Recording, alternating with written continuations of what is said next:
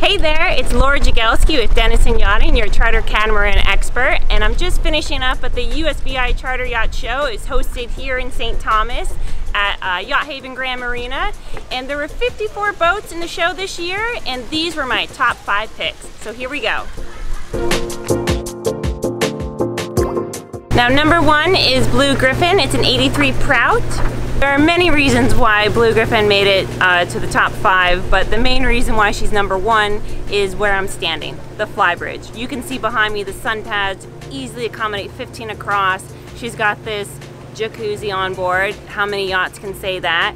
And she's so massive up here that you could easily just have dance party all night long. So definitely where you find me hanging out for my charter. Uh, she's got four crew to help make sure you guys are getting everything you need, cocktails, food, all that good stuff.